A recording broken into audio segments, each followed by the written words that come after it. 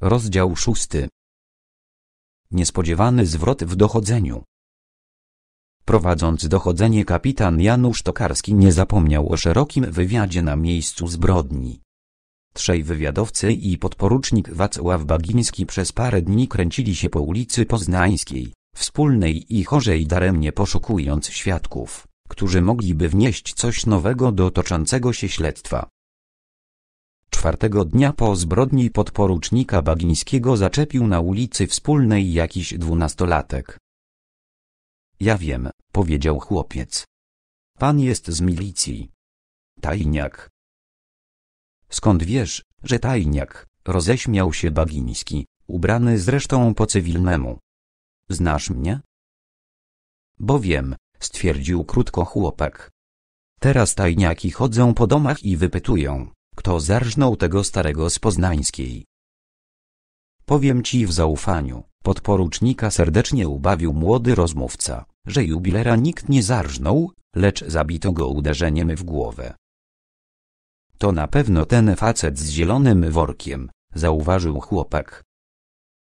Podporucznik Bagiński wysłuchał relacji młodego świadka, a potem niewiele się namyślając wsadził go do taksówki i zawiózł prosto do Pałacu Mostowskich, do kapitana Tokarskiego.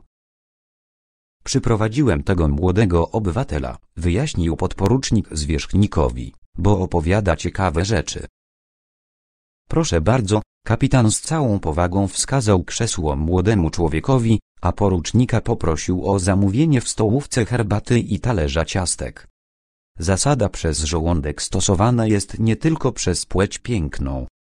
Ma ona duże znaczenie także i w rozmowach milicji z młodzieżą. Jak się nazywasz i gdzie mieszkasz? Witold Iwanicki, odpowiedział śmiało chłopiec. Wspólna 42, mieszkania 5. Mój ojciec pracuje w kolejnictwie, w Ministerstwie Komunikacji. To świetnie, bo ma blisko do pracy. Kapitan starał się pozyskać zaufanie i sympatię swojego młodego rozmówcy. Właśnie, przytaknął Witek. Tylko kawałek ulicą chorzą. Przyniesiono herbatę i ciastka. Nie daj się prosić, częstował kapitan. I radzę się pośpieszyć, bo podporucznik także lubi ciastka, zwłaszcza napoleonki. Ja też lubię. Witek naprawdę nie dawał się zapraszać do jedzenia. W tym wieku zawsze ma się apetyt. Szczególnie na słodycze. Więc jak to było? Co widziałeś? Tokarski uznał, że można już przystąpić do konkretnej rozmowy. To było w tamtym dniu. Około godziny dziewiątej wieczorem. Na pewno o tej godzinie, bo kiedy wróciłem do domu, to mama nakrzyczała na mnie, że już po wpół do dziesiątej, chociaż przykazywała mi, abym przyszedł najpóźniej o dziewiątej. Byliśmy z Gienkiem piekarniakiem na koszykowej. Patrzyliśmy, jak grają w tenisa. Tam przy tych spółdzielczych domach, kapitana wprawdzie nic nie obchodził tenis, ale uważał, że powinien dać się wygadać chłopakowi. W ten sposób najwięcej dowie się od niego. Właśnie. Było jeszcze widno, kiedy wracaliśmy. Dochodziła dziewiąta. Pamiętam dobrze, bo spojrzałem na zegar u zegarmistrza. Gieniek prosił mnie, abym go jeszcze kawałek odprowadził. Kiedy dochodziliśmy wspólną do Poznańskiej, na wspólnej zatrzymał się samochód i wysiadł z niego jakiś pan. Miał w ręku taki worek podróżny, jakie widuje się na wystawach w sportowych sklepach. W zieloną kratę. Ten pan szedł chodnikiem przed nami i także skręcił ze wspólnej w Poznańską. Kiedy przechodził koło domu, w którym jest sklep jubilerski, wszedł na podwórze. Nie mylisz się? Na pewno do tego domu? Ten dom nie ma bramy. Od frontu są same sklepy. Młody człowiek tłumaczył bardzo dokładnie topografię domu, jak gdyby obaj oficerowie jej nie znali. Między tym domem a sąsiednim jest przerwa ze dwa metry. Tamtędy wchodzi się na małe podwórko za domem. Ten pan właśnie tam wszedł. A co było dalej? Dalej to myśmy poszli do domu, gdzie mieszka Gieniek. na ulicę Piękną. Jeszcze trochę z nim rozmawiałem, bo umawialiśmy się, że następnego dnia pójdziemy na basen kąpielowy. Kiedy wracałem do domu, znowu widziałem tego pana, jak wsiadał do swojego samochodu. Worek miał w ręku. Jak ten pan wyglądał? Nie przyglądałem mu się. Zauważyłem tylko, że worek jest w zieloną kratę. To wszystko działo się pomiędzy godziną dziewiątą a wpół do dziesiątej, tak? Kiedy zobaczyłem tego pana po raz pierwszy, na pewno było wtedy po dziewiątej, bo przedtem mu zegarmistrza zegar nad sklepem pokazywał prawie równo dziewiątą. A kiedy wróciłem do domu, mama krzyczała na mnie, że minęło wpół do dziesiątej. Ten samochód stał daleko od waszego domu? Nie. Przy sąsiedniej kamienicy. A ty od razu wróciłeś od mieszkania? Od razu. Samochód ruszał, kiedy byłem koło niego. Co to był za wóz? Syrena. Ale stara. Na tylnym błotniku miała odbity lakier. Jakiego koloru była ta syrena? Zielonego. A numeracja? Miała litery jak moje inicjały, V. A na numer to nie patrzyłem. Poznałbyś tego pana? Chyba bym poznał, chociaż nie umiem opisać, jak wyglądał. Dość wysoki, w brązowym mortalionie. Jakby trochę łysawy. Zresztą bo ja wiem. A co to za rysa była na tylnym błotniku? To nie była rysa. Witek najwidoczniej znacznie więcej uwagi poświęcał samochodom niż ich kierowcom. Ktoś po prostu przytarł tę syrenkę. Pewnie jakaś ciężarówka i błotnik tego drugiego wozu zerwał płat lakieru. Właściciel nie położył od razu nowej farby i w tym miejscu błotnik zardzewiał. Taka brunatna plama na zielonym błotniku. Duża jak moja dłoń. To był prawy błotnik. Ten przy krawędzi chodnika, kiedy samochód stał zaparkowany na wspólnej? Nie. Tylny, ale lewy błotnik. To jak zauważyłeś plamę? Wracając z kortu tenisowego szliśmy nie tym chodnikiem, gdzie jest mój dom, tłumaczył chłopak, tylko przeciwnym. Tam gdzie ten wolny placyk. Przechodziliśmy przez jezdnię na wspólnej zaraz za syrenką. Dlatego zauważyłem. Po co facet ma samochód, kiedy nie umie się z nim obchodzić? Żeby dopuścić do takiej rdzy. A jak się ten pan zachowywał? Zwyczajnie, Wysiadł z samochodu i nawet nie zamknął go na kluczyk, tylko drzwi zatrzasnął. Bo kto by się na takiego grata połaszczył? Potem szedł z torbą w ręku i skręcił na podwórze tego domu. Rozglądał się dokoła. Może oglądał wystawy? Nie zatrzymywał się przed sklepem. Jubilerskim? Nie. Szedł szybko i bez wahania skręcił. Nie rozglądał się i niczego nie szukał. A z powrotem? Widziałem go chwilę, kiedy otwierał drzwiczki samochodu. Tego pana lub ten samochód przedtem już widziałeś? Chyba nie. A potem? Nie, ale poznałbym wóz po tym błotniku. Rozmowa dobiegała końca. Na talerzu zostało jedno, ciastko. Witold Iwanicki nieco się certował, ale wreszcie i ta Napoleonka podzieliła los poprzedniczek. Trzeba chłopaka odesłać z powrotem, zadecydował kapitan. Zajmijcie się tym, poruczniku. Witek dumny jak paw wracał na wspólną jednym z milicyjnych radiowozów.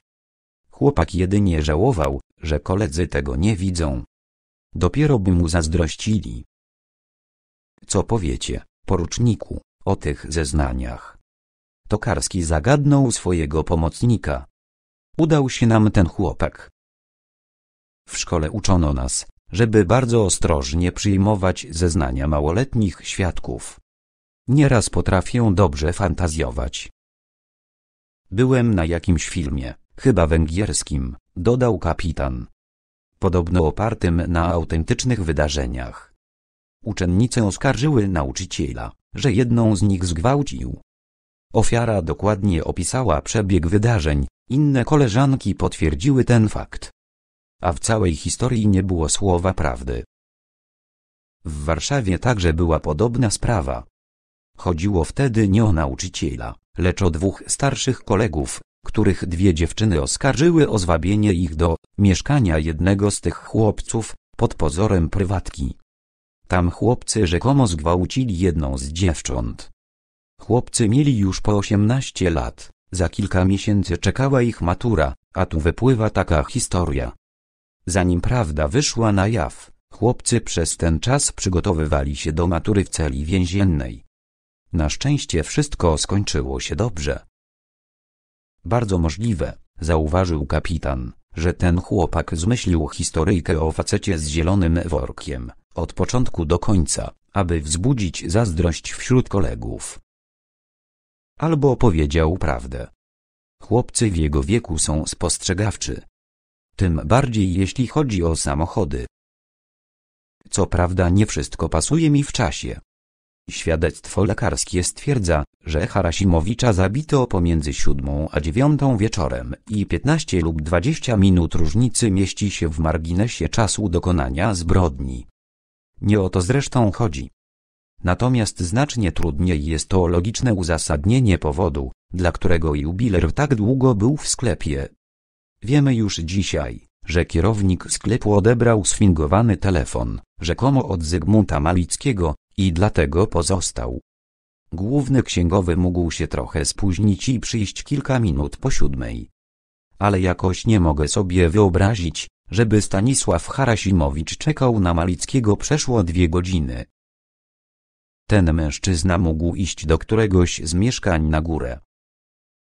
Jak wiemy, powiedział Tokarski, na górze są tylko trzy mieszkania. Tak się złożyło, że w tej chwili wszystkie trzy są niezamieszkałe, bo ich lokatorzy wyjechali na urlopy. Ten facet mógł o tym nie wiedzieć. Przypuśćmy, że tak było. Co w takim razie robił w tym domu prawie pół godziny? Witek stanowczo twierdzi, że od wejścia pana z zieloną torbą do domu przy ulicy Poznańskiej aż do jego odjazdu samochodem ze wspólnej minęło właśnie tyle czasu. Wejść na piętro i kilkakrotnie zadzwonić do drzwi, ile zajmie? Nie więcej niż pięć minut. Nie umiem tego wytłumaczyć, przyznał szczerze podporucznik Bagiński.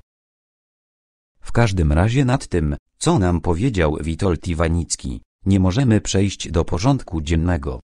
Będziecie mieli, poruczniku, trochę roboty ze sprawdzeniem tych zeznań. Trzeba przede wszystkim zorientować się, czy taka syrena nie została tego dnia lub nieco wcześniej skradziona. Posługiwanie się kradzionymi samochodami to ulubiona metoda przestępców całego świata i coraz bardziej modna w warszawskim świadku przestępczym. To będzie proste. Dowiem się o tym w pogotowiu milicyjnym. Nie cieszcie się z góry, poruczniku, uprzedzał Tokarski. Jeżeli okaże się, że kradzieży nie było, będziecie szukali zielonej syreny z rodzą na lewym tylnym błotniku najpierw wśród samochodów, których tablice rejestracyjne zaczynają się na wi. Takich wozów, teoretycznie biorąc, jest 9999 sztuk. Praktycznie zaś o parę tysięcy mniej. Wśród nich trzeba wyodrębnić zielone syreny i później każdą dyskretnie obejrzeć. Jeżeli i to nie da wyniku, będziemy dalej szukali wśród wszystkich samochodów z rejestracją warszawską, a później z ogólnopolską. Podporucznik Wacław Bagiński tylko jęknął. Przypuszczam, kapitan pocieszał swojego podwładnego, że nie będzie tak źle. Wszystko z wyjątkiem tych nieszczęsnych opiłków wskazuje, że morderca z ulicy Poznańskiej nie jest zawodowym bandytą, lecz nowicjuszem amatorem. A taki, jeśli nawet sfałszował tablicę rejestracyjną swojego wozu, prawdopodobnie zmienił jedynie cyfry i nie przyszło mu do głowy, aby podstawić fałszywe litery. A jeżeli znajdziemy tę syrenę, to najpierw pokażemy ją Witkowi Iwanickiemu. Potem dyskretnie zrobimy kilka zdjęć właściciela wozu. Dobierzemy kolekcję podobnych fotografii i znowu pokażemy ją chłopcu. Jeżeli nasz młodociany bohater przejdzie i przez ten test, wtedy poważnie zajmiemy się właścicielem zielonego grata. Przypominam, że tak określił ten samochód nasz zjadacz ciastek. A propos, ile wam jestem za nie winien, poruczniku? Bagiński ręką machnął. Nie ma o czym mówić. Widzę, że wszystkie drobne koszty macie zamiar, poruczniku, pokryć z nagrody, jaką otrzymacie za wykrycie mordercy i znalezienie cennej biżuterii. Zgoda. Następnym razem ja będę fundatorem. Przez kolejne cztery dni podporucznik był najbardziej znienawidzonym człowiekiem przez pracowników rejestru samochodowego.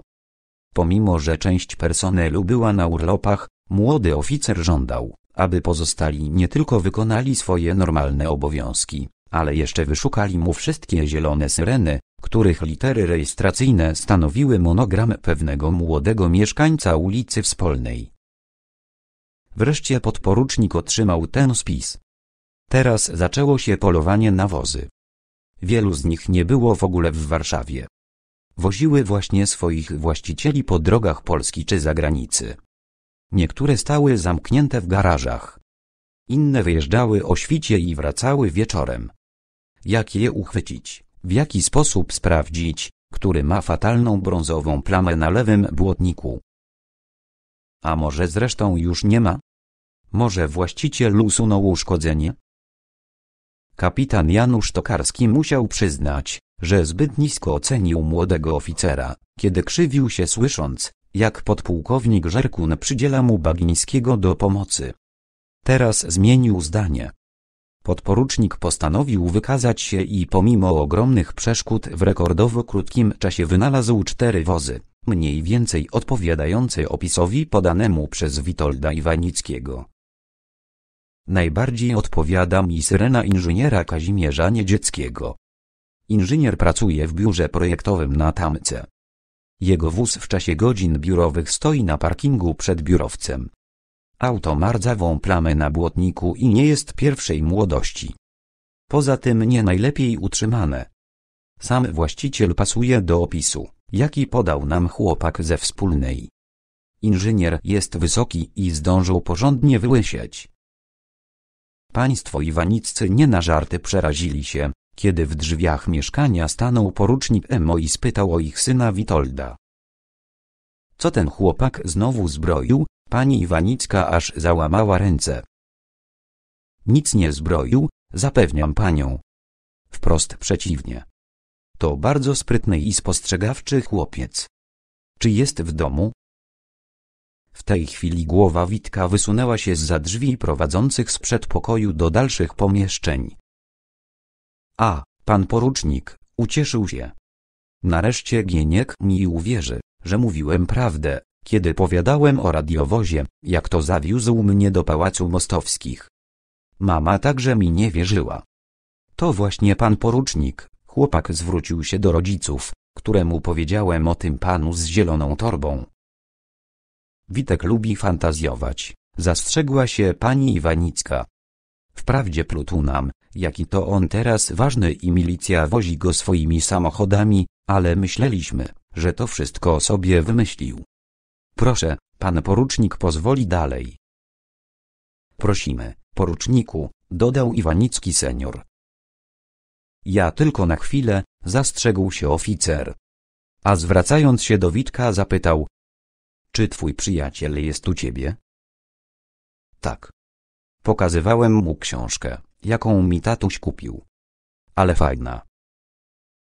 Bardzo bym prosił, Bagiński skierował te słowa do rodziców Witka, o pozwolenie, żeby chłopcy pojechali ze mną. Najpóźniej za pół godziny odwiozę ich z powrotem.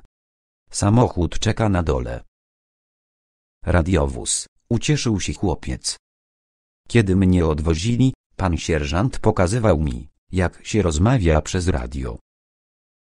Niestety, ku nieukrywanemu rozczarowaniu chłopców, na dole czekał na nich kapitan Tokarski, ubrany po cywilnemu. Również Warszawa nie miała żadnych milicyjnych oznak. Prowadził ją jakiś cywil. Chłopcy wsiedli, Wóz ruszył. Porucznik Bagiński nie pojechał z nimi. Auto skierowało się na Nowy Świat, później skręciło w Foksal, a potem ulicą Kopernika dojechało do rogu Tamki, gdzie zaparkowano na małym placyku przed kawiarnią Złota Kaczka. Tutaj oficer i dwaj chłopcy wysiedli. Poszli tamką w dół. Zaraz za wysokim, dziewiętnastopiętrowym domem mieszkalnym stoi długi i wąski biurowiec. Prawie całe ściany tego budynku są ze szkła, a piętra wyższe niż w innych domach. Budowano go bowiem specjalnie na biuro projektowe. Dom jest cofnięty od linii ulicy o jakieś 15 metrów. Powstały w ten sposób placyk wysypano żużlem i piaskiem, co błogosławią mieszkańcy okolicznych domów, ponieważ najmniejszy wietrzyk nawiewa do mieszkań tumany pył. Na placyku parkuje zawsze kilkanaście samochodów, przede wszystkim wozy pracowników biura projektów. Tam skierował się kapitan ze swoimi ekspertami. Ta syrena, już z daleka zawołał jeden z chłopców. Podeszli nieco bliżej. Witek chciał podbiec do wozu, ale oficer milicji powstrzymał go kładąc dłoni na ramieniu. Powoli, powoli, uspokajał młodego człowieka. Nie możemy podchodzić zbyt blisko. W ogóle zachowujcie się tak, jakbyście szli z ojcem lub wujem na spacer nad Wisłę. Dalej stoi zaparkowany Mercedes. Kiedy będziemy wracali, możecie podejść do Mercedesa, ale tak wycyrklujcie, aby przejść koło syrenki, lecz nie zatrzymujcie się przy niej. Nikt nie dziwi się ciekawskim, oglądającym zagraniczne wozy, ale co innego, jeżeli młodzi znawcy motoryzacji będą się gapić na starą syrenkę. Rozumiecie mnie? Tak jest, panie kapitanie. Mamy nie wzbudzać podejrzeń. Właśnie o to chodzi. To jest na pewno ten sam wóz, kategorycznie stwierdził Witold Iwanicki. Ma plamę na błotniku, podobną do mojej dłoni. A to brudas. Nawet jej nie umył od tamtego czasu. Ja też poznaję tę syrenę, potwierdził Gieniek. Rzeczywiście, przy odrobinie wyobraźni, brunatną plamę na błotniku samochodu można było porównać do odciśniętej na lakierze ludzkiej dłoni. Kapitan odwiózł obu chłopców na wspólną i bardzo im podziękował za współpracę z władzami przy poszukiwaniu niebezpiecznych przestępców. A na drugi dzień rano zjawiła się na tamce kobieta z koszem pełnym kwiatów. Widocznie po raz pierwszy zabrała się za handel uliczny. Wybrała w tym celu miejsce najgorsze z najgorszych, bo na małym placyku przed biurowcem. Kto tam kupi choć jedną różę? Handlarka już przed siódmą rano zjawiła się na posterunku. Szybko zorientowała się, że nie zrobi tutaj wielkich interesów, więc próbowała sprzedać swój towar pracownikom biura projektów, podjeżdżającym pod gmach samochodami. Nie miała zbyt wiele szczęścia. Ktoś piesząc się do biura ma czas i głowę na kupowanie kwiatów. Wysoki mężczyzna w wieku powyżej 35 lat, o mocno podwyższonym przez łysinę czole, wysiadający ze starej, podniszczonej syreny także odmówił kupna ładnych róż, które kwiaciarka mu ofiarowywała. Punkt okazał się wybitnie niehandlowy, bo wkrótce kobieta zabrała koszyk z towarem i powlokła się w stronę Nowego Światu. Ale i tam najwidoczniej nie miała fartu, ponieważ przed godziną drugą po południu wróciła przed biurowiec. Energicznego dzielnicowego, dokonującego obchodu swojego rewiru, w pierwszej chwili mało szlak nie trafił. Na tamce, na jego ulicy, jakaś handlara. A kwiaty na pewno kradzione. W jego rewirze taki numer nie przejdzie. Dzielnicowy biegiem rzucił się w stronę kwiaciarki, aby nie zdążyła mu uciec. Nawet nie próbowała, ale widocznie umiała ładnie prosić, bo dzielnicowy skrzyczał kobiecinę, ile wlazło, wreszcie machnął ręką i pozwolił jej zostać na swoim miejscu. Teraz, kiedy urzędnicy wychodzili z biura, handel szedł trochę lepiej.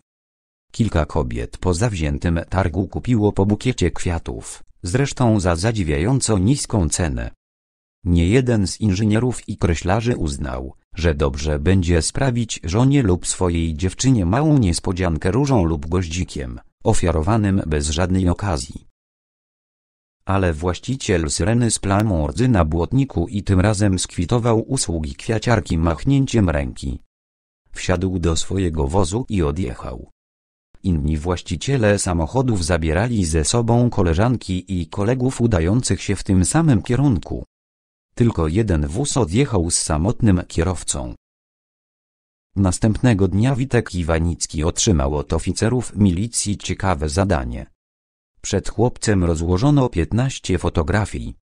Mężczyźni figurujący na tych zdjęciach wszyscy w jakiś sposób byli do siebie podobni. Albo wysocy, albo łysawi lub zupełnie łysi. Mieli podobne nosy i identyczne zarysy podbródków.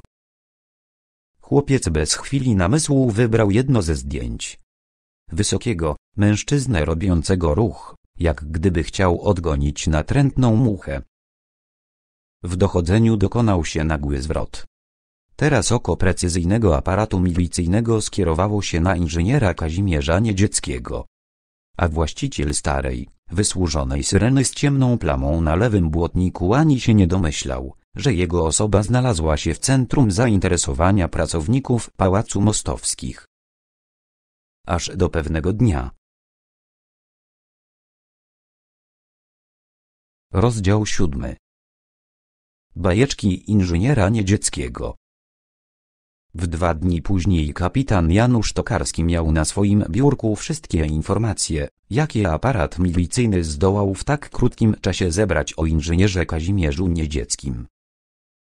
Kazimierz Niedziecki urodzony w Ciechanowie przed 38 laty. Syn pracownika tamtejszej cukrowni, obecnie rencisty, zamieszkałego we własnym domku z ogródkiem. Ukończył szkołę średnią w Ciechanowie. Następnie próbował dostać się na Politechnikę Warszawską, jednak nie zdał egzaminu. Rok pracy w cukrowni ciechanowskiej i następny, tym razem pomyślny egzamin, już na Politechnikę we Wrocławiu. W czasie studiów przyszły inżynier nie wyróżnił się niczym specjalnym. Egzaminy zdawał na ogół w terminie, ale nie cumy magna laude, lecz zaledwie na trójeczki, czasem na czwórkę. Mniej więcej w terminie ukończył Politechnikę ze stopniem inżyniera magistra i wrócił do rodzinnego Ciechanowa, do pracy w cukrowni. Ale atmosfera niewielkiego miasta już nie odpowiadała młodemu inżynierowi, tym bardziej, że we Wrocławiu poznał młodą studentkę farmacji, warszawiankę, która widocznie także uznała, że Wrocław ma mniej wymagających egzaminatorów i tam rozpoczęła studia wyższe. Dziewczyna nie chciała się zaszyć w jakiejś okropnej dziurze i mieszkać z rodzicami męża w małym domku bez centralnego ogrzewania, a domagała się powrotu do stolicy. Po dwóch latach pobytu w Ciechanowie, bo młody inżynier tam czekał na uzyskanie dyplomu przez narzeczoną, państwo niedzieccy przenieśli się do Warszawy. Inżynier początkowo pracował w zakładach im. Kasprzaka, później przeniósł się do jakiejś spółdzielni maszyn precyzyjnych, wreszcie wylądował w biurze projektów, gdzie zdołał zaliczyć siedmioletni staż. Małżeństwo dorobiło się mieszkania spółdzielczego na sadach żoliborskich i trójki dzieci. W tych warunkach pani magister farmacji zdecydowała na pewien czas rzucić pracę i zająć się wychowaniem trójki i pociech. To niewątpliwie odbiło się na budżecie rodzinnym. Nie było możliwości zmiany starej syreny na nowszy wóz. Niedziecki starał się utrzymać równowagę finansową pracami zleconymi. Na szczęście farmaceutka, poza kręceniem pigułek, wyniosła z domu cenną umiejętność, sama szyła dla siebie i dla dwóch córek. To była spora ulga w budżecie rodzinnym. Świadectwa z pracy i opinie były poprawne. Nie wspominały, że inżynier Niedziecki jest geniuszem, a choćby kandydatem na niego, ale podkreślały pracowitość i obowiązkowość dawnego Ciechanowiaka. Na jednej tylko z tych opinii sprzed czterech lat ktoś na marginesie napisał uwagę, zaopatrując ją znakiem zapytania, zbyt dużo pije. Później podobnych uwag nie było. Milicjanci śledzili kilka dni każdy krok inżyniera i zanotowali, że właściciel syreny jest dobrym kierowcą, jeździ pewnie, ale bardzo ostrożnie. Zwalnia przed każdym skrzyżowaniem, nawet jeżeli ma pierwszeństwo drogi. Za pośrednictwem swojego biura inżynier otrzymał na początku lipca dwutygodniowe wczasy rodzinne w Rabce. Pani Niedziecka wyjechała tam z trójką dzieci i miała jeszcze zostać w podgórskiej miejscowości na dalszy miesiąc. W sierpniu pan Kazimierz miał na dwa tygodnie dojechać do Rabki i przywieźć rodzinę do domu starą, ale jeszcze żwawą syreną. Ostatnio inżynier nieco się zaniedbał. Zarówno w pracy, jak i w wyglądzie zewnętrznym. Także mniej dbał o swój samochód, który od dawna nie widział wody. Najwidoczniej stan słomianego wdowca nie odpowiadał temu człowiekowi. Po następnej konferencji oficera milicji z prokuratorem Bolechowskim kapitan Tokarski był gotów do akcji. Nazajutrz przed siódmą rano, kiedy Kazimierz Niedziecki otwierał drzwiczki swojego wozu, podszedł do niego jakiś mężczyzna. Panie inżynierze. Pan do mnie? Niedziecki zdziwił się na widok nieznajomego. Kapitan Tokarski pokazał małą, czerwoną legitymację. W tej samej chwili do auta zbliżył się inny mężczyzna, także w cywilnym ubraniu. Trzymał rękę w kieszeni. Wrócimy na górę do pańskiego mieszkania, polecił kapitan. Trzeci z mężczyzn, ten w mundurze z dystynkcjami starszego sierżanta, dołączył do nich. Inżynier nie protestował, nie próbował tłumaczyć się lub bronić. Bez słowa zatrzasnął drzwi samochodu i zawrócił w stronę bloku mieszkalnego. Kiedy cała grupa wchodziła na parter, gdzie inżynier mieszkał, z pierwszego piętra zeszli następni trzej funkcjonariusze MO. Jeden w mundurze podporucznika milicji, pozostali w cywilnych ubraniach, z walizeczkami w rękach. Inżynier otworzył mieszkanie. Proszę, panie inżynierze, oto nakaz rewizji podpisany przez prokuratora. Kazimierz Niedziecki nie spojrzał na okazywany mu papier. Pan chyba wie, jakie powody sprowadziły nas do niego? Sprawa z ulicy Poznańskiej, głucho odpowiedział inżynier i po chwili milczenia dodał. Każdego dnia spodziewałem się tej wizyty. Sam chciałem do was przyjść. Szkoda, że pan tego nie zrobił. Teraz jest za późno, zauważył podporucznik. A szkoda, bo to mogłoby być uznane za poważną okoliczność łagodzącą.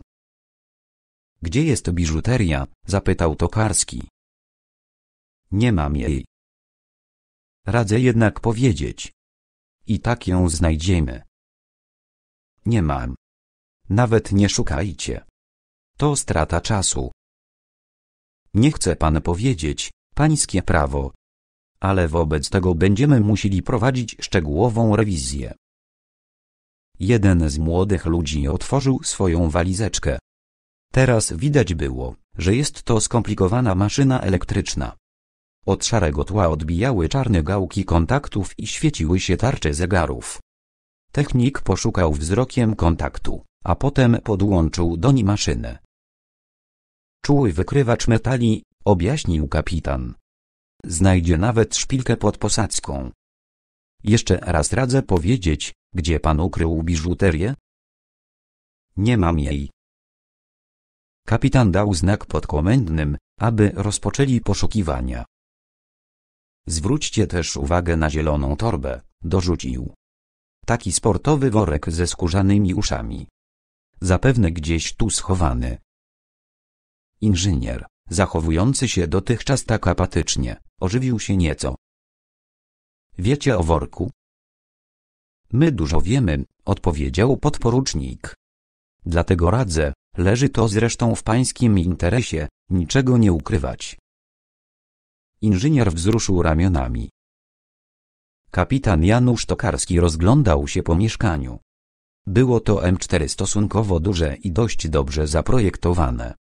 Urządzono je przyzwoicie, ale nie bogato. Dostrzegało się nieobecność pani domu. Tej podłogi dawno nikt nie zamiatał.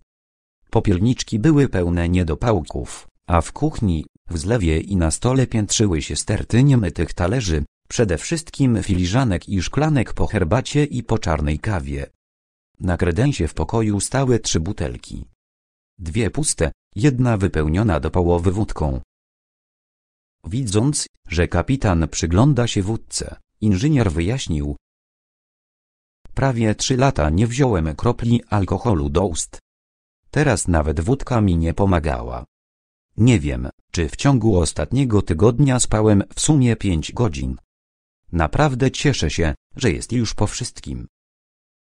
Niech pan nam powie, gdzie jest biżuteria. Nie ma jej tu. W ogóle nie wiem, gdzie jest. Nie mam jej. Tokarski nie nalegał.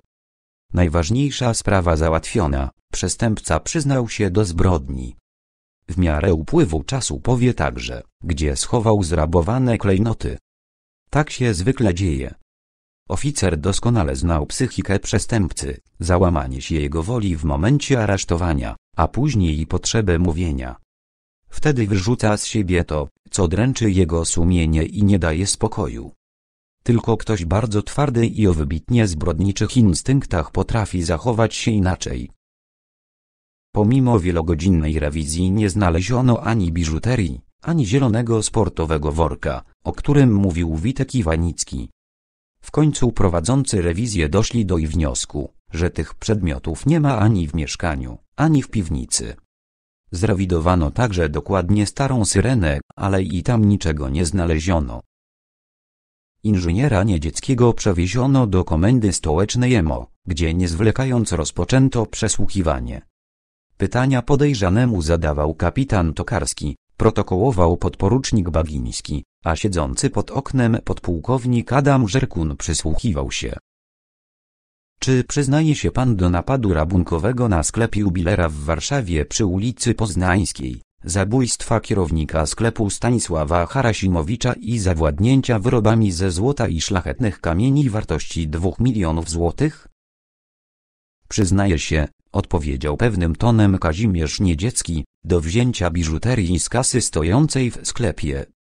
Nie liczyłem jej ani nie wiem, jakiej była wartości. Natomiast nie przyznaje się do zabójstwa Harasimowicza. Proszę opowiedzieć, jak było. Od początku do końca. To będzie dłuższa opowieść. Nie szkodzi. Mamy czas. Uprzedzam pana, że jego zeznania są nie tylko protokołowane, ale równocześnie nagrywane na taśmę magnetofonową. Przysługuje panu też prawo odmowy składania zeznań. Powiem wszystko, chociaż i tak mi nie uwierzycie. Zaczynamy. Kapitan włączył magnetofon. Jestem mordercą, rozpoczął swoje zeznania Kazimierz Niedziecki, ale nie zamordowałem jubilera. Przed prawie trzema laty, w październiku 1969 roku, zabiłem na szosie wiodącej z Zakopanego do Krakowa, zaraz za Chabówką, przy zjeździe z Obidowej górala jadącego na rowerze. Byłem wtedy pijany. Przed odjazdem z Zakopanego wypiłem z przyjaciółmi co najmniej ćwiartkę wódki. Moi kompani ostrzegali mnie przed prowadzeniem samochodu, ale ich nie posłuchałem.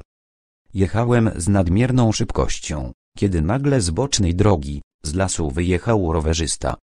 Miałem wprawdzie pierwszeństwo przejazdu, ale ponieważ byłem prawie całkowicie zamroczony alkoholem, nic mnie nie usprawiedliwia. Tokarski chciał przerwać, ale podpułkownik dał mu znak, żeby na razie milczał. Po katastrofie wytrzeźwiałem momentalnie. Zatrzymałem samochód, wysiadłem z niego i zbliżyłem się do leżącego człowieka. Rower był w szczątkach, góral miał całą głowę rozbitą. Spod krwi nie odróżniałem rysów jego twarzy. Jestem pewien, że kiedy się do niego zbliżyłem, już nie żył. Inżynier przerwał. Bez pytania o pozwolenie sięgnął po karawkę z wodą. Jednym haustem wypił zawartość szklanki. Potem na nowo podjął swoją opowieść. Rozejrzałem się dokoła. Szosa była pusta, nigdzie żywego ducha. Nikt mnie nie widział. Góral nigdy już nic nie powie. Dobiegłem do samochodu i uciekłem. Parę kilometrów dalej było skrzyżowanie dróg. Skręciłem w boczną szosę. Kluczyłem jak zając. Do Warszawy wróciłem przez Katowice. Był to okres, kiedy dużo piłem. Po tej katastrofie nastąpił wstrząs. Od tamtego dnia aż do momentu, kiedy w gazetach przeczytałem o zamordowaniu Stanisława Harasimowicza, nie wziąłem do ust ani kropli wódki. Kapitan podsunął zeznającemu paczkę papierosów. Ten jednak potrząsnął głową. Dziękuję, na razie nie. Przez pierwsze kilka dni straszliwie się bałem, że mnie jednak złapią. Ale nic się nie działo. Mijały dnie, tygodnie, miesiące i nawet lata. Czułem się już zupełnie bezpieczny. Myślałem, że zapomniano o tragedii na szosie zakopiańskiej. Tymczasem był ktoś, kto pamiętał. Nadszedł pewien dzień. Było to 25 czerwca. Datę tę będę pamiętał do końca życia. Wtedy to nasz woźny w biurze przyniósł mi list w białej kopercie zaadresowanej maszynowym pismem. Nadawcy nie było. Otworzyłem. Ze środka wypadła fotografia i kartka papieru. Spojrzałem na zdjęcie i zamarłem. Inżynier zamilkł, jak gdyby musiał nabrać sił. Trzymałem w ręku fotografię przedstawiającą mnie stojącego nad ciałem zabitego górala. Zdjęcie było ostre. Każdy szczegół widoczny. Nieco z tyłu stał mój wóz z doskonale widocznym numerem tablicy rejestracyjnej. Skręcone szczątki żelaza u moich stóp to połamany rower. Rzuciłem okiem na kartkę załączoną do zdjęcia. Szanowny panie inżynierze, pozwalam sobie przesłać mu bardzo interesujące zdjęcie. Nie wątpię, że będzie ono milą pamiątką po wczasach spędzonych w październiku w Zakopanem. Bardzo się cieszę, że mogę panu zrobić tę małą przyjemność. Może się pan nie fatygować niszczeniem fotografii, posiadam bowiem negatyw i mogę zrobić tyle odbitek, ile będzie potrzeba. Niedługo zgłoszę się do pana, porozmawiamy wówczas na interesujące nas wspólnie tematy. Warszawa, 23 czerwca 1971 roku. Przez kilka minut siedziałem jak człowiek ogłuszony obuchem. A potem w porywie bezsilnej wściekłości podarłem na drobniutkie kawałki fatalny list i kopertę. Pomimo to pamiętam każde jego słowo. List, jak panowie się domyślają, nie miał żadnego podpisu. A zdjęcie? Zdjęcia nie podarłem. Rozumiałem całkowity bezsens tego kroku. Tamten miał negatywy. Ale nie wiem, co się stało z tą fotografią. Później nieraz jej szukałem, bez skutku. To było w biurze? Tak. Przecież mówiłem, że list przyszedł na mój biurowy adres. Przyniósł go nasz woźny. Razem z urzędową pocztą. List był nadany w Warszawie? Nie potrafię w ogóle powiedzieć, czy miał znaczek pocztowy. Podarłem kopertę. Proszę mówić dalej. Cały mój spokój natychmiast prysnął. Żona, która właśnie przygotowywała się do wyjazdu na wczasy razem z dziećmi, nie mogła zrozumieć zmiany w moim nastroju. A ja wciąż łamałem sobie głowę, kto i w jaki sposób mógł wtedy mnie sfotografować. Na szosie nie widziałem nikogo. Żaden pojazd mnie nie mijał ani nie wyprzedzał. Szatan chyba robił to zdjęcie. Byłem pełen jak najgorszych przeczuć. Nie omyliłem się, ale w najśmielszej wyobraźni nie przypuszczałem, do czego ten człowiek jest zdolny. Teraz niedziecki sięgnął po papierosa. Upłynął tydzień. Ostatniego czerwca żona z dziećmi wyjechała do Rabki. A 1 lipca gdzieś około południa zadzwonił telefon stojący na moim biurku. Ja w sprawie zdjęcia. Tego z gór. Kto mówi? Mój tajemniczy rozmówca roześmiał się w odpowiedzi. Czego pan chce? zapytałem. Niech pan się tak nie niecierpliwi. Wszystko w swoim czasie. Na razie chciałbym pana odwiedzić i pogadać.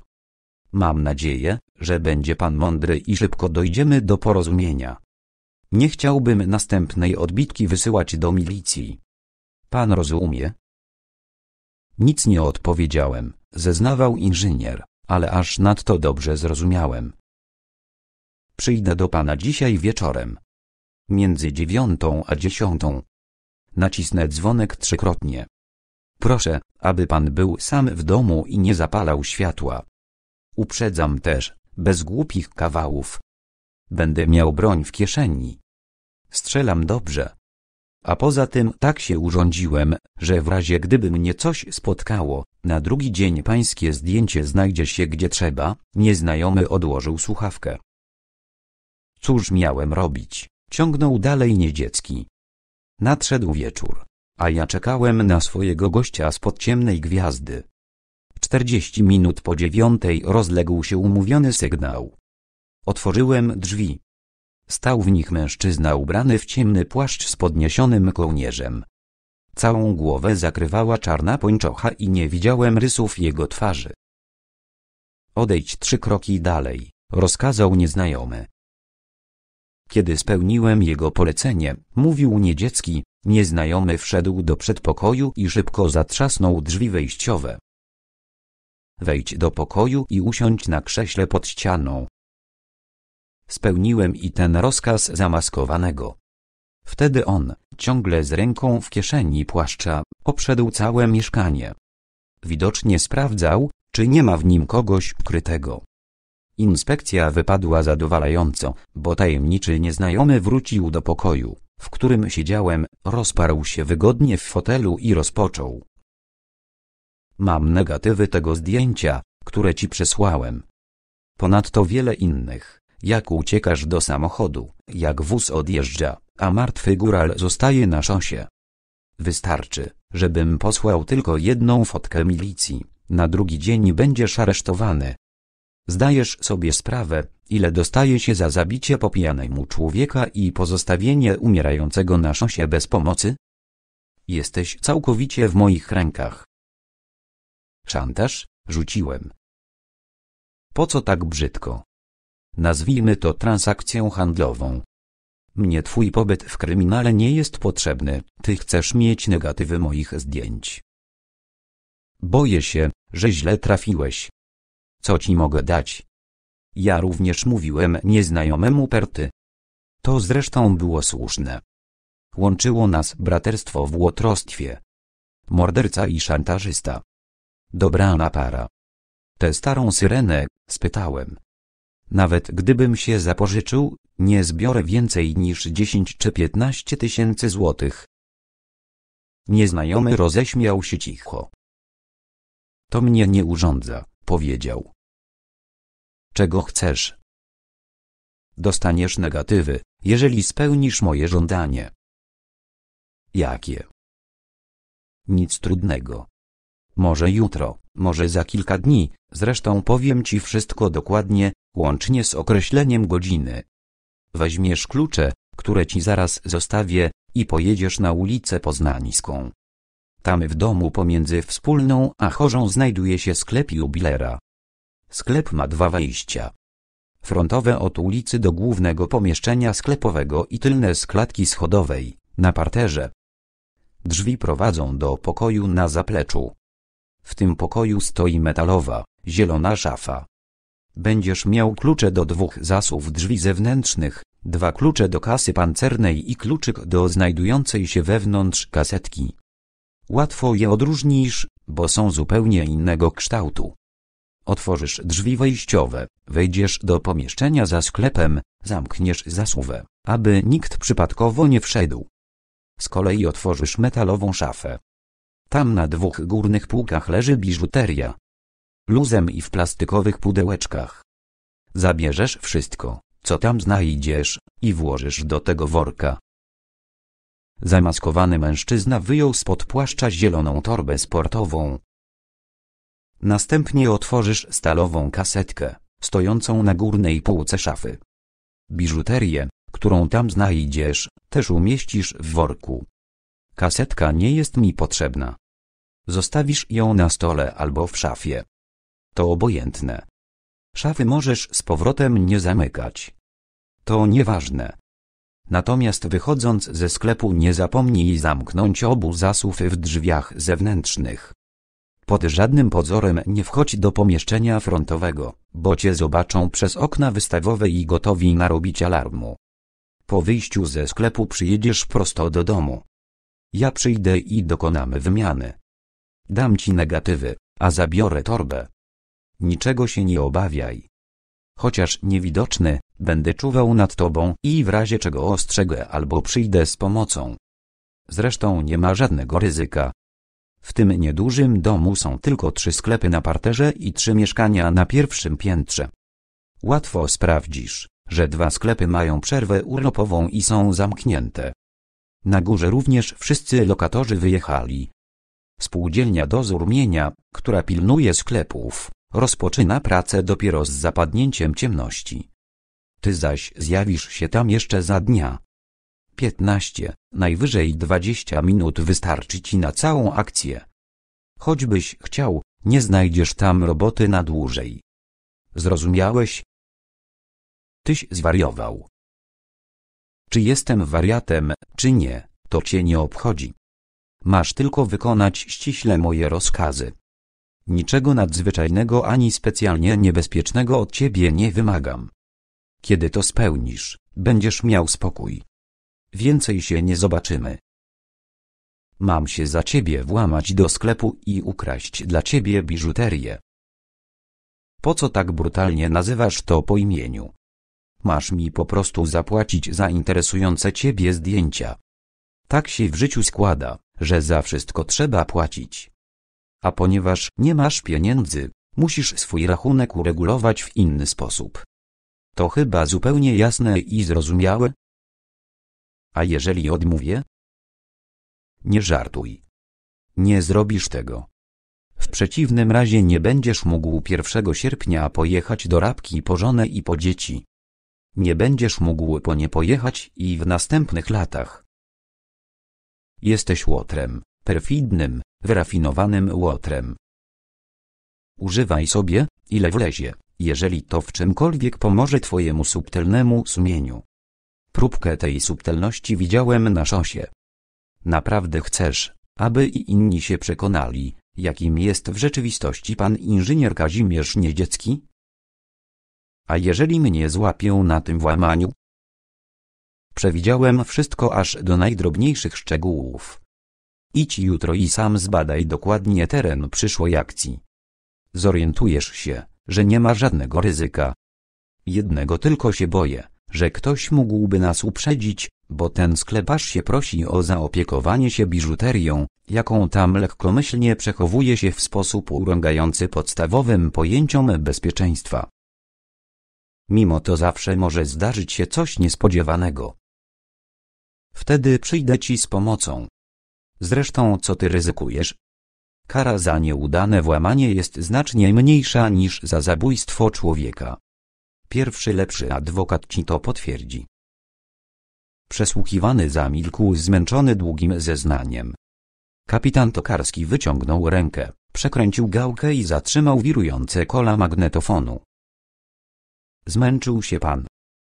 Chce pan odpocząć? Nie. Będę mówił dalej.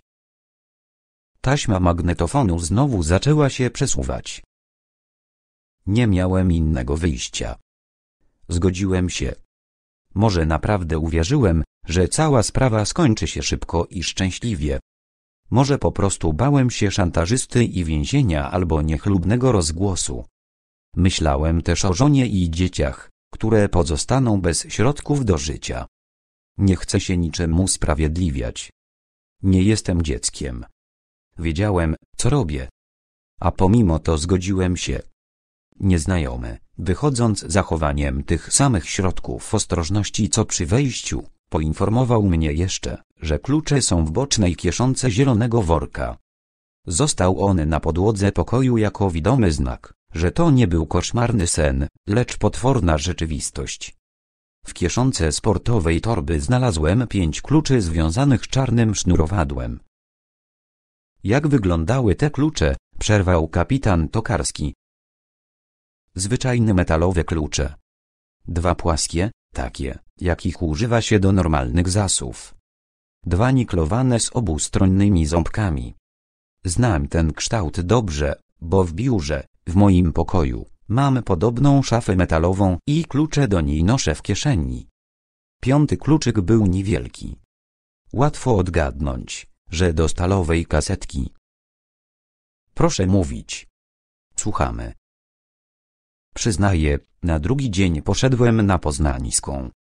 Sytuacja zgadzała się z opisem szantażysty. Wszedłem na podwórze i na klatkę schodową. Spokojnie obejrzałem drzwi obite blachą i zaopatrzone w dwie antaby zamykane na kłódki i w dwie zasuwy. Byłem przekonany, że dane mi klucze pasują do tych zamków. Nieznajomy nie kłamał, skleparz się prosił o okradzenie go. Ciekawy sposób usprawiedliwiania się, ironicznie zauważył kapitan. Ja nie zamierzam się usprawiedliwiać. Mówię, jak było, odparł inżynier. Trzy dni upłynęły spokojnie. Na czwarty dzień znowu w południe odezwał się telefon. Głos w słuchawce zawiadomił mnie, zostawiłem u pana zielony worek i pięć kluczy. Dzisiaj punktualnie o dziewiątej wieczorem. Zadzwonię do drzwi jak wtedy. Trzy krótkie sygnały. Zrozumiał pan. Kiedy odpowiedziałem zrozumiałem, usłyszałem stuk kładzionej na widełki słuchawki. Inżynier przerwał i znowu napił się wody. Był już solidnie zmęczony. Cóż mam powiedzieć więcej, zeznawał. Zgodnie z poleceniem punktualnie o dziewiątej podjechałem samochodem w pobliżu sklepu. Nie zatrzymałem się na Poznańskiej, lecz przy ulicy Wspólnej. Poznańska była o tej porze prawie pusta. Bez pośpiechu doszedłem do domu, w którym mieści się jubiler. Poza jego dwoma oknami wystawowymi cały budynek pogrążony był w ciemności. Wszedłem na podwórze i stamtąd na klatkę schodową. Chwilę nasłuchiwałem. Gdyby mnie wtedy ktoś spotkał, cóż łatwiejszego, jak wyjaśnić, że idę do znajomych na pierwszym piętrze. Nikogo nie spotkałem. Ale ciebie widzieli, mruknął porucznik Bagiński tak cicho, że inżynier nie usłyszał tej uwagi. Szybko dopasowałem klucze i znalazłem się w sklepie. Zaznaczam, że antaby były spuszczone i kłódki zdjęte. Jak radził mi mój rozkazodawca, zamknąłem zasuwę i spokojnie zabrałem się do otwierania opancerzonej szafy. Klucze pasowały bezbłędnie. Otworzenie kasy i wyjęcie z niej biżuterii nie zajęło mi więcej niż pięć minut. Nie oglądałem tego, co pakuje do worka. Przypominam sobie tylko, że w kasetce były jakieś bransoletki i parę pięknych pierścieni. Zaglądał pan do innych pomieszczeń sklepowych? Nie. Ryzykować? Nie chciałem, żeby mnie ktoś zobaczył kręcącego się po sklepie. Byłem bardzo zdenerwowany i śpieszyłem się. Chciałem jak najprędzej znaleźć się możliwie daleko ulicy Poznańskiej. A do pakamery pan nie zaglądał? Nigdzie nie zaglądałem. Naładowałem torbę biżuterią. Kasetkę zostawiłem na stole. Nie trudziłem się też zamykaniem szafy. Już nie pamiętam, czy ją przymknąłem, czy też drzwi zostawiłem szeroko otwarte. Potem nadszedł najgorszy moment. Otworzenie drzwi wejściowych i wyjście na klatkę schodową. Gdyby mnie wtedy ktoś spotkał, nie miałbym żadnego tłumaczenia. Byłbym złapany na gorącym uczynku. Ale poszło szczęśliwie. Na ulicy uspokoiłem się zupełnie. Wsiadłem do wozu i pojechałem na Żoliborz. A tam czekał tajemniczy nieznajomy. Z tonacji głosu kapitana można było poznać, że nie wierzy ani jednemu słowu niedzieckiego. Zaparkowałem przed domem i wszedłem do mieszkania. Mój opiekun widocznie mnie obserwował, bo po upływie dwóch minut trzykrotnie odezwał się dzwonek u drzwi wejściowych. Otworzyłem. Na progu stał zamaskowany mężczyzna. Znowu zachował te same środki ostrożności co przy pierwszej wizycie. Obszedł pokoje i zajrzał do kuchni. Kazał mi siedzieć na tym samym krześle. Winszuję, powiedział. Poszło, jak przewidywaliśmy. A mówiłem, że to dziecinnie łatwe. Ale miałeś stracha. Dlaczego tego sam nie zrobiłeś? Nie bądź zbyt ciekawy. Gdzie worek? Pokazałem ręką na kredens. Obok mego pod ścianą stała. Zielona torba. A gdzie klucze? Są w środku.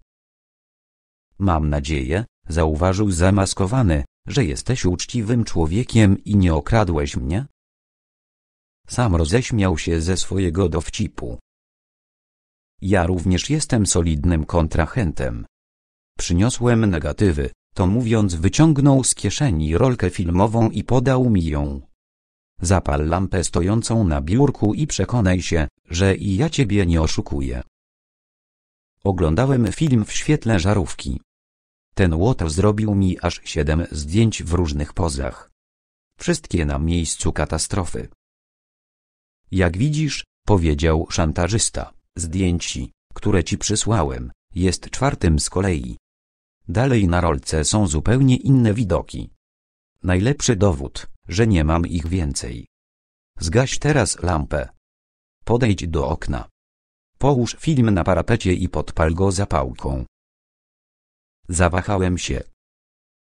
No, podpal, w głosie nieznajomego zabrzmiała niedwuznaczna groźba. Przytknąłem zapałkę do celuloidu. Palił się jaskrawo białym płomieniem. Gdy zgasł, nieznajomy kazał mi wrócić na krzesło, a sam sięgnął po worek. Tamtą fotografię zniszczyłeś? Zniszczyłem, przytaknąłem. Nie widziałem potrzeby tłumaczyć się draniowi, że zdjęcie gdzieś zgubiłem. No to dobrze, stwierdził nieznajomy. Jesteś teraz czysty jak nowonarodzone dziecię. Cieszysz się? Będę się cieszył, jak wyjdziesz z mojego domu. Może chcesz dla żony jakieś świecidełko? Pierścionek lub bransoletkę? Nie krępuj się ostatecznie należy ci się jakaś nagroda za dobrze spełnioną pracę. To tak, jak gdybyś w biurze dostał premię za udany projekt. Jedyne, co chcę, to nie oglądać ciebie więcej. Wcale ci się nie dziwię. Twój widok też by mi nie sprawiał wielkiej rozkoszy. Twoje życzenie zaraz się spełni. Już nigdy się nie spotkamy. Zamaskowany mężczyzna wstał z fotela i ruszył w stronę przedpokoju. Rozkazał, nie ruszaj się. Siedź spokojnie, sam wyjdę i zatrzasnę za sobą drzwi. Niedziecki zrobił małą przerwę, zanim podjął na nowo swoją opowieść. Przyznaję, byłem prawie szczęśliwy. Absolutnie nie miałem najmniejszych wyrzutów sumienia, że zostałem mimowolnym włamywaczem. Ten człowiek miał komplet kluczy, więc ostatecznie i bez mojej pomocy, prędzej czy później, sklep zostałby okradziony. Mój spokój trwał krótko. W dwa dni później popołudniówki warszawskie podały opis włamania i śmierci w sklepie Stanisława Harasimowicza. Początkowo sadziłem, że to jakiś podstęp milicji dla ułatwienia sobie śledztwa. Niestety, szybko przekonałem się z nekrologów drukowanych w prasie, a podających czas i miejsce pogrzebu zamordowanego, że to straszna rzeczywistość. Od tej pory, powiedział inżynier, nie miałem spokoju. Nie spałem, nie jadłem, ciągle oczekiwałem waszej wizyty. Nieraz przechodziłem koło pałacu mostowskich i biłem się z myślami, czy nie wejść i wszystkiego szczerze nie opowiedzieć. Zdawałem sobie jednak doskonale sprawę, że nikt mi nie uwierzy. Jednego tylko nie mogę zrozumieć, dlaczego ten zamaskowany mężczyzna postanowił zastawić na mnie tak potworną pułapkę. Nic mu nie zrobiłem i na pewno go nie znałem. Może to jakiś krewny zabitego na szosie i dlatego postanowił zemścić się w tak perfidny sposób. Za zabójstwo na szosie, wprawdzie po pijanemu, ale jednak zabójstwo nieumyślne, groziło mi pięć do siedmiu lat. Nie przypuszczam, żebym dostał więcej. A teraz ten szantażysta chce mnie posłać na szubienicę. Kazimierz Niedziecki zamilkł. Był bardzo zmęczony swoimi zeznaniami. Widać było, że goni resztkami sił. Kapitan Tokarski wyłączył magnetofon. Podporucznik Bagiński kończył pisanie wielostronicowego protokołu. Inżynier prawie nie czytając podpisał się na dole każdej kartki papieru. Na dzisiaj dosyć, powiedział Tokarski. jutro będzie pan przesłuchany ponownie. Opowiedział pan nam bardzo interesującą bajeczkę. I jak każda bajka, ma tę wadę, że nie zawiera ani słowa prawdy. Człowiek podejrzany o przestępstwa ma prawo obronić się tak, jak uważa za najlepsze.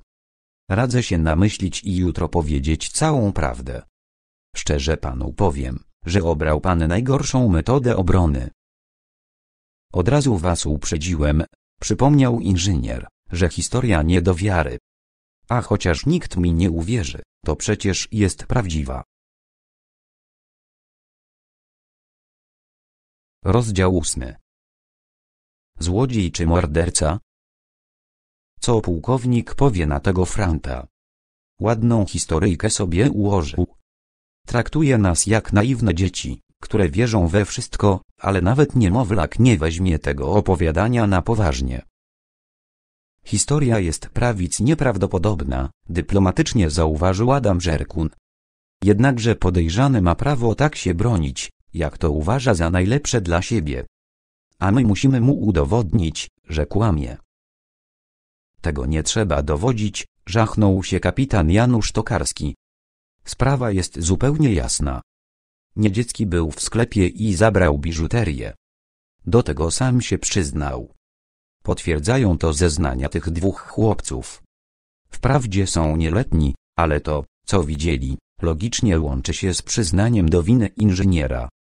A po wyjściu złodzieja z magazynu jubilera znaleziono tam w pakamerze ciało zamordowanego kierownika sklepu. Nikt inny nie może być mordercą, tylko właściciel syreny. Każdy sąd przyzna nam rację. Być może, zgodził się zwierzchnik kapitana. Ale przecież nie o to chodzi. A o co? zapytał niespodziewanie podporucznik Bagiński. Nie zależy nam przecież, odpowiedział mu podpułkownik, na uzyskaniu wyroku skazującego inżyniera niedzieckiego nawet na karę główną, ale wyłącznie na tym, aby sprawiedliwości stało się zadość. Karę ma ponieść prawdziwy sprawca przestępstwa. Pan pułkownik sądzi, że niedziecki nim nie jest? Może jest, może nie. Przyznaję szczerze, że wiele przemawia za tym, iż inżynier nie tylko ukradł biżuterię, ale i pozbawił życia Stanisława Harasimowicza. Tak wiele, że wystarczy na proces poszlakowy i wyrok skazujący. A jednocześnie dużo jest niejasności. Boję się poszlakówek. Historia judykatury zna setki takich procesów, gdzie na podstawie bardzo wyraźnych poszlak skazano niewinnych ludzi. Jeżeli chodzi o niedzieckiego, kapitan Tokarski nie podzielał zastrzeżeń swojego zwierzchnika, nie mam żadnych obaw. A jednak ja widzę pewne, nawet poważne sprzeczności. Jakie? Kapitan zadał to pytanie o ton głośniej, niż należało. Widzicie, kapitanie, prowadzicie tę sprawę od początku i znacie ją tak, jak nikt. Sądzę, że jesteście tą sprawą nieco znużeni i podenerwowani. Dlatego też, kiedy znaleźliście sprawcę kradzieży, z góry założyliście, że ten człowiek kłamie. Nie chcecie widzieć tego, co przemawia na jego korzyść. Jeżeli pan pułkownik uważa, że nie nadaje się na swoje stanowisko, głos kapitana brzmiał bardzo oficjalnie, proszę powierzyć dochodzenie komu innemu. Żerkun roześmiał się serdecznie. Oj, Janusz, Janusz, znam cię od przeszło dwunastu lat i ciągle jesteś bardzo młody. Słowa nie można powiedzieć. Od razu nastroszyłeś się jak indyk. Ile to już razy zgłaszałeś tę swoją dymisję? Przypomnij sobie. Gdybym był twoim ojcem, to nie zważając na twoje lata, dałbym ci. Ale nie dymisję. Bardzo przepraszam, pułkowniku, kapitan skapitulował. Uniosłem się trochę, ale ta sprawa już nieraz kością w gardle mi stanęła. Co prawda ciągle nie widzę tych zastrzeżeń, o których pan wspominał. Czy nie uderzyło cię, że od początku szło za gładko? Od razu mieliśmy mordercę, jak to się mówi, na patelni. Główny księgowy Zygmunt Malicki zatelefonował do kierownika sklepu, że zjawi się u niego po siódmej wieczorem. Przyszedł punktualnie, Zamordował Harasimowicza i zabrał biżuterię. Wszystko gra. Tylko siadać i pisać akt oskarżenia. To wyjątkowo szczęśliwy zbieg okoliczności, że Malicki wyszedł z biura przed czwartą i był później przez cały czas w towarzystwie swoich podwładnych. Dzięki temu zyskał alibi na tę godzinę, kiedy ktoś podszywając się pod niego zatelefonował do sklepu przy Poznańskiej. Gdyby nie dało się tego ustalić, kto wie, jakby się to skończyło dla głównego księgowego? Zapewne nie wesoło. To prawda, zgodził się Tokarski. Ktoś szpetnie usiłował wrobić w to morderstwo Malickiego. Ale Niedziecki sam się przyznaje do kradzieży biżuterii. Zgoda. Nie przyznaje się jednak do morderstwa. Teoretycznie biorąc istnieje możliwość, że Harasimowicz został zamordowany przed lub po bytności inżyniera w sklepie. Lekarz ustalił wprawdzie czas zgonu na godziny pomiędzy siódmą a dziewiątą wieczorem, ale dopuszcza się pewne odchylenia. Tym bardziej, że wiemy, że Harasimowicz żył jeszcze kwadrans po siódmej. To mało prawdopodobne. Ale niewykluczone. Jeśli dojdzie do procesu poszlakowego, obrona oprze się na tym szczególe, a i na pewno znajdzie inne okoliczności przemawiające na korzyść niedzieckiego. Na przykład Przede wszystkim ten telefon. Telefonować mógł sam niedziecki. Z biura projektów albo z pobliskiego automatu. A więc pierwsza wątpliwość do ustalenia. Wiemy dobrze, że telefonowano na poznańską kwadrans po czwartej. Wtedy najpewniej niedzieckiego w jego biurze nie było. Biura projektowe zazwyczaj zaczynają pracę o siódmej rano, a kończą o trzeciej po południu. Ale projektanci często dorabiają sobie zostając w pracy po godzinach. Trzeba sprawdzić, co robił tego popołudnia. Jestem przekonany, że nie będzie miał ścisłego alibi, Przyjeżdżał do pracy i wracał do domu samochodem. Cóż łatwiejszego, jak zatrzymać wóz przed pierwszym lepszym automatem i stamtąd zadzwonić na Poznańską. Z telefonem łączy się następna wątpliwość. Człowiek, który wtedy dzwonił i rozmawiał z Krystyną Waldecką, doskonale znał sposób bycia głównego księgowego. Musiał go znać osobiście i nieraz był świadkiem rozmów Malickiego z kobietami. To znowu punkt dla niedzieckiego. Może J księgowy i inżynier znają się? Może spotykali się choćby tylko na gruncie towarzyskim? A my o tym nic nie wiemy. To jest do sprawdzenia. Sam Malicki nam o tym powie. Nie leży w jego interesie ochraniać człowieka, który chciał postawić go w stan oskarżenia o morderstwo. Jeżeli Malicki potwierdzi, że się znali, to jeszcze nie stanowi dowodu, że Niedziecki jest zabójcą Harasimowicza. Zresztą w świetle zeznań inżyniera, ten telefon wcale mu nie był potrzebny do szczęścia.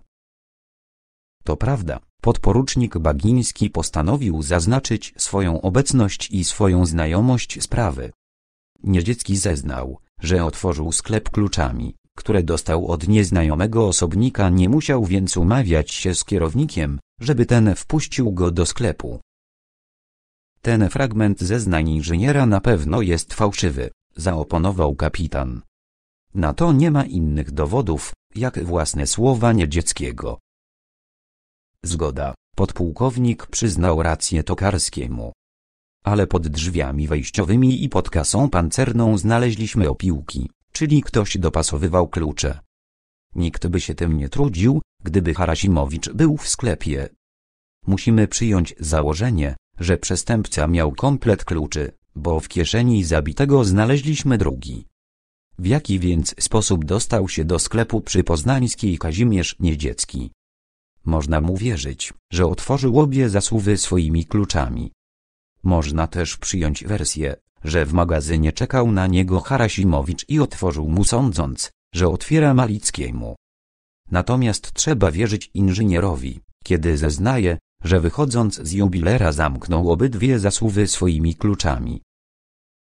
Niedziecki mógł zamordować kierownika sklepu na klatce schodowej, a nawet na podwórku, zauważył podporucznik, i otworzył drzwi do sklepu przy pomocy kluczy znalezionych u starego jubilera.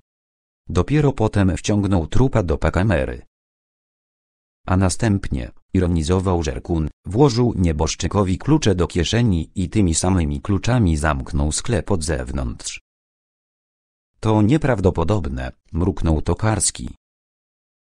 Mówiąc poważnie, kończył swoją myśl podpułkownik, na korzyść Niedzieckiego przemawia także czas jego pobytu na Poznańskiej. Nasi młodociani świadkowie, którzy przecież tak walnie przyczynili się do ujęcia Kazimierza Niedzieckiego, twierdzą stanowczo, że inżynier był w domu przy Poznańskiej najwyżej pół godziny. To wystarcza aż nadto do zamordowania Harasimowicza i zabrania biżuterii. Zgoda. Ale to nie wystarczy, aby dopasować dwa klucze do zasów i dwa bardziej skomplikowane klucze do kasy pancernej.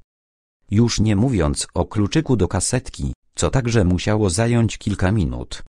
Biorąc pod uwagę, że mamy do czynienia z fachowcem dużej klasy, taka robótka, zwłaszcza przy metalowej szafie, musiała trwać najmarniej z półtorej godziny. Nie przypuszczam jednak, żeby niedziecki człowiek, który dotychczas żył uczciwie, był specjalistą od podrabiania kluczy. Ja sam, choć się trochę na tym znam, straciłbym co najmniej ze trzy godziny na taką robotę. Kasę mógł otworzyć kluczami znalezionymi przy Harasimowiczu. Tak, taka możliwość istnieje, zgodził się Żerkun. Dlaczego w takim razie opiłki znaleziono również i pod szafą metalową? Powiedzmy nawet, że nasz przestępca jest człowiekiem szatańsko sprytnym i rozsypał tam trochę tych opiłków dla utrudnienia śledztwa, ale w pół godziny uporać się z dwiema zasuwami, to trochę za mało dla niefachowca. Chłopcy mogą się mylić. Może Niedziecki miał więcej czasu na przeprowadzenie całej operacji? Bardzo byśmy sobie ułatwiali zadanie, gdybyśmy przyjmowali za prawdziwą tę część zeznań chłopców, które nam odpowiadają, a negowali zupełnie niepasujące. Ci dwaj młodzi ludzie dowiedli, że są spostrzegawczy i tylko dzięki temu wpadliśmy na trop inżyniera. Witek Iwanicki upiera się, że kiedy z przyjacielem wracał z kortów, na zegarze u zegarmistrza dochodziła godzina dziewiąta. Po powrocie do domu dostał burę, że przyszedł tak późno, ponieważ minęło w pół do dziesiątej. Czy pani Iwanicka potwierdzi ten termin? Może zapamiętała, o której godzinie jej syn wrócił do domu? Czy tak, czy inaczej zawsze wychodzimy na te nieszczęsne pół godziny, najwyżej czterdzieści minut. Do diabła, zaklął kapitan. W tej cholernej sprawie jak jedno pasuje, to zaraz coś innego temu przeczy. Zwariować można. W matematyce, zauważył Żerkun, istnieją pewne zadania mające ogromną ilość rozwiązań pozornie prawdziwych, z tym, że prawdziwe jest tylko jedno. Ta sprawa przypomina mi takie zadanie. Coraz to znajdujemy nowy trop. Początkowo wydaje się on nam właściwy, a potem okazuje się, że nasza hipoteza nie tłumaczy wszystkiego. A jednak jest takie rozwiązanie, które nam wytłumaczy i czas pobytu niedzieckiego w sklepie, i sprawę kluczy będą do siebie pasowały opiłki i telefon na poznańską. W tym jednym prawdziwym rozwiązaniu fałszywe sprzeczności złożą się na logiczną całość. Wytłumaczą nam nawet i to, że Harasimowicz został w sklepie, bo Malicki miał przyjść zaraz po siódmej, a tymczasem nie Malicki, lecz Niedziecki zjawił się dopiero o dziewiątej. Dlaczego Harasimowicz nie zamknął sklepu i nie poszedł spokojnie do domu? Co robił przez te dwie godziny? Czy był w sklepie? Może kierownik nie doczekał się Malickiego i wyszedł ze sklepu, a później coś sobie przypomniał i wrócił na Poznańską? Tam zastał Niedzieckiego zajętego rabunkiem i wtedy inżynier go zamordował, podpowiedział podporucznik Bagiński. Ta hipoteza nie jest zła, przyznał kapitan, ale i ona nie wyjaśnia nam telefonu i sposobu dostania się inżyniera do sklepu, skoro nie miał drugiego kompletu kluczy. Natomiast jeśli Niedziecki miał ten drugi komplet, obojętnie jak zdobyty, to co robią opiłki pod drzwiami i pod kasą? Adam Żerkune zaczął się śmiać. Przed pół godziną kapitan twierdził, że nie ma żadnych wątpliwości co do winy Kazimierza Niedzieckiego. A teraz sam obala teorię, która właśnie obciąża inżyniera podejrzanego o morderstwo. Bo pan pułkownik tak mnie skołował, że sam już nie wiem, co o tym myśleć. To zrobiłem ja, zupełnie niezainteresowany w obronie inżyniera Niedzieckiego. Dla dochodzenia byłoby wygodne widzieć w nim mordercę. To by nam oszczędziło dalszej, żmudnej roboty. Ale wyobrażacie sobie, co byłoby w procesie poszlakowym? Obrońcy, jak mówicie, tak by nas skołowali, a również prokuratora, który ośmieliłby się wnieść takie oskarżenie, że nie pozbieralibyśmy się. Więc co robić? zapytał podporucznik. To, co dotychczas. Nadal prowadzić dochodzenie. Szukać motywów zabójstwa i powiązań łudzi. Wcale nie wykluczam, że Kazimierz Niedziecki jest nie tylko złodziejem, do czego się przyznaje, ale także i mordercą. Musimy mu jednak tego dowieść bezspornie. Na razie nie potrafimy tego zrobić, bez względu na to, czy wierzymy, czy też nie wierzymy w jego opowiadanie o tajemniczym szantażyście. Tę historię trzeba sprawdzić. Jeżeli rzeczywiście, jak się przyznaje, zabił człowieka na szosie pod Chabówką, ustalenie tego nie nastręcza żadnych trudności. Może bym tam pojechał, zaofiarował się podporucznik Bagiński. Mógłbym wyjechać dzisiaj wieczorem. Rano byłbym już w Chabówce i dowiedział się na miejscu. A przy okazji podskoczył do Zakopanego, ironizował kapitan, i pochodził sobie trochę po górach albo poderwał jakiegoś kota. Dziękuję. Obejdzie się. Tę sprawę możemy sprawdzić w Warszawie, w materiałach Komendy Głównej. Ewentualnie wyślemy telefonogram do tamtejszej komendy powiatowej. Idę o zakład o wszystko, co mam, a na dodatek i o głowę, że dostaniemy negatywną odpowiedź. Bagiński speszył się ostrą uwagą kapitana. Podpułkownikowi żal się zrobiło młodego człowieka i załagodził. Możliwe, że trzeba będzie pojechać do Chabówki i przekonać się na miejscu, czy opowiadanie o katastrofie na szosie jest prawdą.